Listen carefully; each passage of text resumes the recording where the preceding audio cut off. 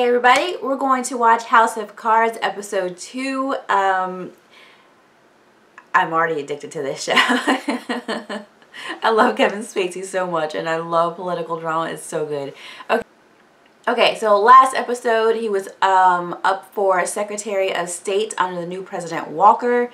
He was passed over for that job by uh, Michael Kern, who he's trying to get de-seated apparently. And he's getting all his co-workers basically under his wing so he can basically get him thrown out of office, I guess. Um, and he's, I guess he's maneuvering to get a higher position than that because he's trying to get Kathy Durant, I guess, uh, in that position. Or maybe he's going to screw her over. Who knows. Um, he now has a do-boy, whatever the guy's name is. I think it's Peter. I'm not sure. He was uh, drinking and driving. He has a long history of that apparently. And now he has to remain loyal to our guy, Kevin Spacey. And I don't know what his name is still. Um, that's never a good thing to have to protest your loyalty to someone in any political arena. That's bad. this guy is so screwed. Pretty good job. I love his relationship with his wife. They are kind of messed up, but they have each other's back and they, you know, they they're very motivational to each other. Like, listen, no crying. Let's get this shit handled. Like, what are you doing right now? I kind of love that a lot. As a, as a lot, as my personality, I really don't have time for, I don't have patience for, like, whining about stuff. so, that's totally my personality and, yeah. Um, so yeah, let's watch episode two of House of Cards. Tell them I'm on top of it. I need more than that. You are well aware that I do not drop the ball on things like this, Remy. Talk to me when I've solved the problem. Don't waste my time when I'm working on solving. Don't make them throw money at your challenger next cycle. You've made your point. Have I? I hope so. Michael Kern went to Williams. Check out the masthead.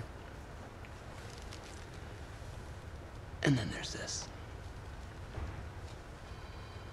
It's thin. The guy's a unicorn. He pisses rainbows. You think we can get traction with this? I think you could. I disagree with something, I say it. Well, I disagree 100%. Please, Claire, don't do this. I respect your opinion, Evelyn, and I He's gonna appreciate come back and bite her in you the sharing ass. it with me, but I'm not going to change my mind. Frank, this is not your fault. No, we have to protect your reputation. I am not comfortable with this. Well, then what do you suggest we do? What a martyr craves more than anything is a sword to fall on. So you sharpen the blade, hold it at just the right angle, and then three, two, one. It should be me. It was my bill. No, impossible. Donald. Well, if not you, then who?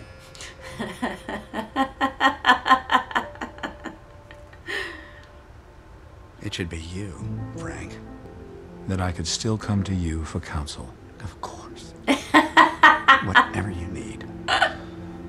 That is great. Part of me is glad It's so fucked up. leaked.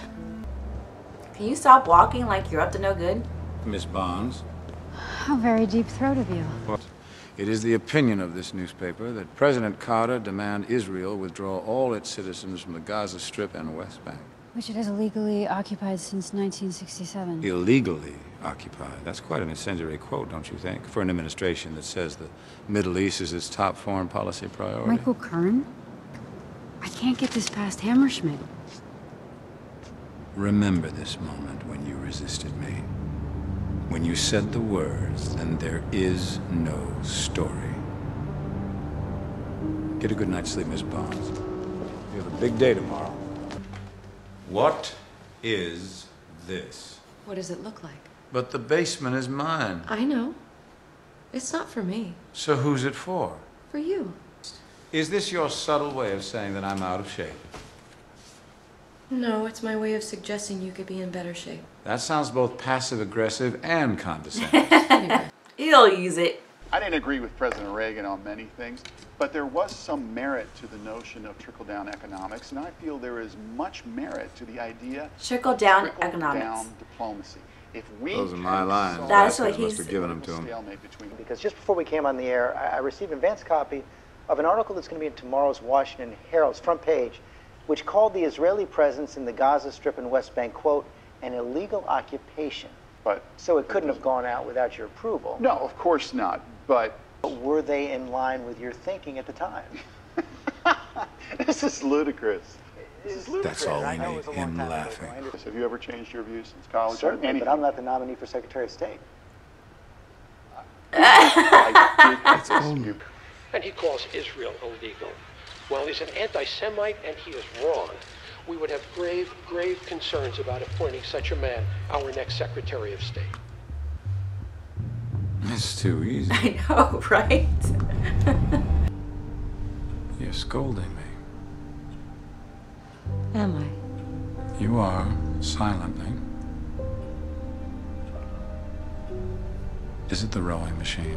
You tell me. it's the rowing machine. I love his conversation. Use the machine. David says I quietly scream. She's right. I should take better care of myself. What if people thought he wrote it? Oh, fuck that. He's a fraud. You want me to lie to the people. I want you to spare the people another hypocrite. What's in it for you?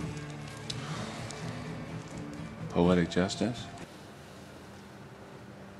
I'm going to need you to leave us today, too, Evelyn. I'm sorry. I thought Evelyn I just would can't have any doubt about the direction I'm taking. but damn, she had her fire all those people, and then You just had me fire 18 people. I know. I am 59 years old. Nobody hires anybody my age. I will write you any kind of To do recommendation. what? Bag groceries? Hey, Evelyn. I truly No, you're not. You don't give a fuck.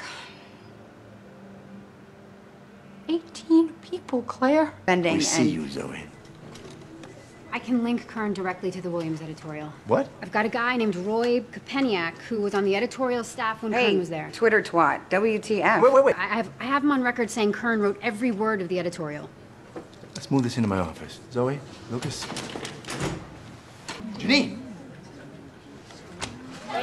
Jenny's pissed. CNN right now. I've got it all. Migrants are not only ignorant, they are racist. Get ready, Kathy. Things are about to move very quickly. Understanding of the Middle East Okay. is so out of I'm ready. I like Kathy too. You had him Cognac and Kern were appetizers, Miss Barnes. Catherine Durant is the meal. Say that name. Catherine Durant. Say it over and over. Tomorrow afternoon, write it down. Then watch that name come out of the mouth of the President of the United States. This is where we get to create. Zoe Barnes at the Washington Herald now reporting, quoting a source close to the president, as saying that Senator Catherine Durant will likely be the new nominee for Secretary of State after Michael Kern's withdrawal earlier this week. Start talking about when and what and how Durant's going to shape our foreign policy. God, I love this show. Now for the real meeting. So what is happening with Michael Kern?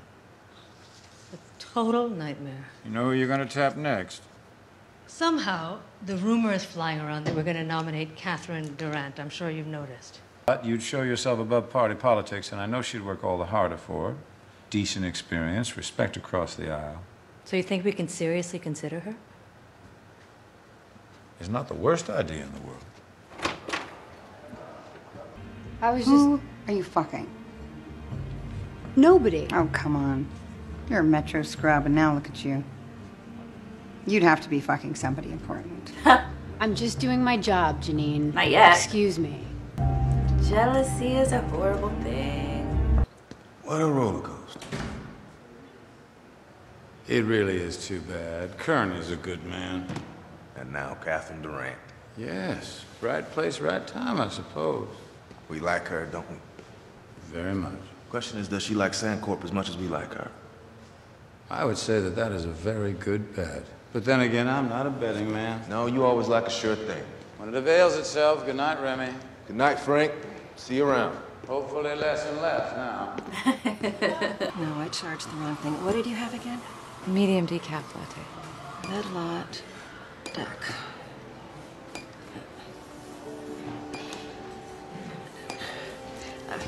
I, I don't know how to get it to go back. This one and this one. This one? No, let me do it.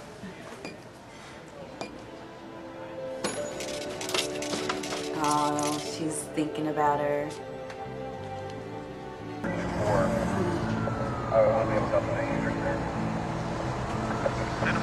Nobody can hear you. Nobody cares about you. Nothing will come of this. Why don't you let these nice gentlemen take you around? Francis?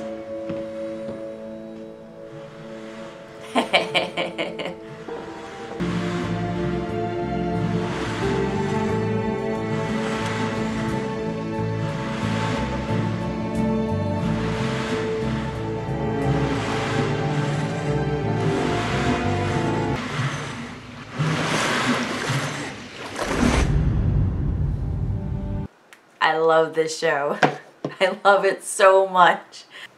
Okay, so uh, Peter is on a very, very quickly descending downward spiral. This is not going to end well for him.